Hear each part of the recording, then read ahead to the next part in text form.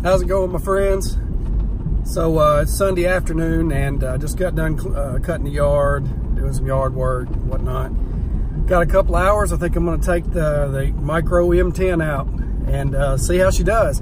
Uh, I'm not taking my cameras. I'm just going to shoot a, an intro like this, and then uh, once I get done, if I catch some fish, I'll put some still pictures in. But I'm going to do a comparison. Um, between this boat and my Sun Dolphin Sportsman that I tricked out and had that I sold. Um, but anyway, I will compare the two and I will give my honest opinion. So y'all watch the video and wait till the end and we will see what happens.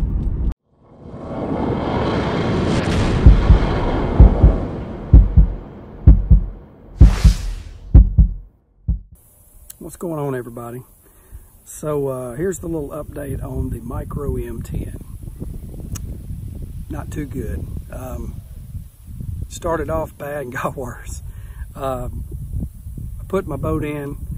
Um, obviously, it's very light, but I put the boat in and something grabbed a hold or hung my rear wheel of my trailer underwater that I didn't see nor feel.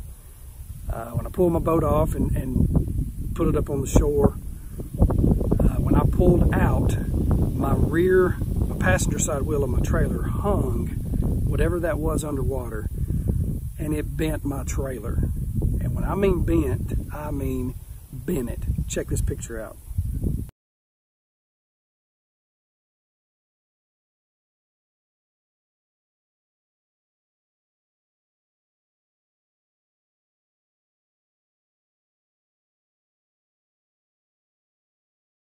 Oh yeah. So my father-in-law is on his way to help me try to try to get this trailer bent back straight where I can at least get it home. I've luckily got a spare on this trailer. I'm gonna have to change the wheel because it bent the rim, the wheel uh, on that side. And uh, it was just, and, and not even, not even off the bank good. I catch two dinks and then I hang a good one. I think, man, I've got a good fish. This is turning around. It was about a 12 pound catfish. And I broke my falcon rod in three, no, two places. Check this picture out.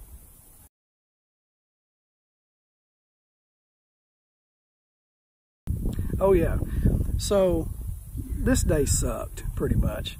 Um, hopefully we're going to be able to get the trailer bent back straight and it's not going to compromise the, the, you know, the strength of it where it bent. But we'll just have to see what happens. Um, it is what it is. Um, about to starve to death, so it, that's not helping. But I'm going to get out of here and, you know, hopefully get hopefully get this trailer straightened out and get home and just try to relax. Man, it's been a crazy day. Anyway, I appreciate y'all watching. Oh, oh, let me do the comparison. Sorry, I almost forgot. Compared to the Sun Dolphin Sportsman. Now, as far as stability, hands down, the Sun Dolphin Sportsman's got it. Uh, it's more or less, a, you know, a, an eight foot pontoon. So it's very stable left to right. Now it did, you know, shift in the water quite a bit, which is why I put the, the rudder or the skeg on it. Um, the Micro M10, a little bit, the fishability is a little bit better because I have a foot controlled trolling motor. The casting deck's a little bit bigger and I've got that storage underneath. Uh, it's two foot longer. Um, zero to 10, on the Sun Dolphin, I would have given the Sun Dolphin, once I put the skeg on it, I would have given it probably an 8.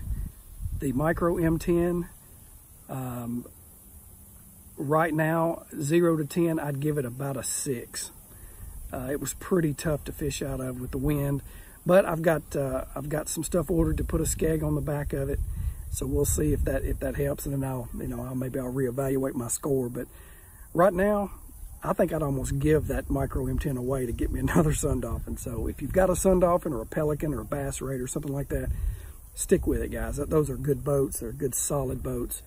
Um, hopefully this, this boat's going to pan out and it's going to work good when I get a skeg on the back of it and it'll hold more true in the water. But I got to fix the trailer first. I got to get it home. So that being said, I'm going to get out of here. Uh, appreciate y'all watching. Be sure you like and subscribe. And I'll see you next time, hopefully from the water in the Micro M10. This is Jonathan. I'm out. We'll see you.